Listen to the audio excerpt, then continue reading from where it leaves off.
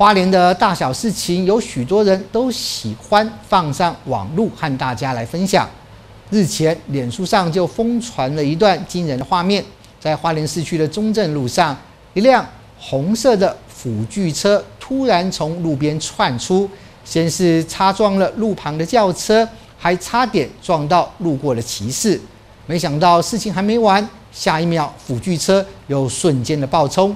直接撞上路过的另一辆机车，所幸都没有人受伤。傍晚五点多，正值下班时间，花莲市中正路上车来车往，没想到一辆红色电动辅具车突然从两辆停在路边的轿车中窜了出来，差点就撞上路过的机车。所幸辅具车及时放开油门，才没有发生意外。但事情还没结束，下一秒辅具车突然爆冲，翘起孤轮撞上另一辆路过机车，这惊悚画面让人看完直呼好可怕。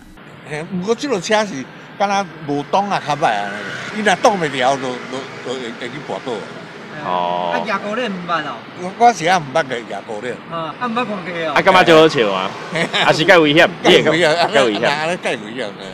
对啊，很危险啊，尤其是旁边车跟人很多的时候，一定要很小心。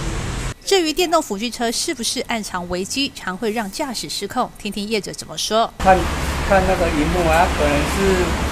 它启动的瞬间啊，它的传动后面两其中有一轮没有着地，突然着在突然着地的情况下，哦，因为可能扭力过大，再加上看它画面上那个后面啊，应该载蛮重的啦，所以重心在后面，所以有翘高的情况。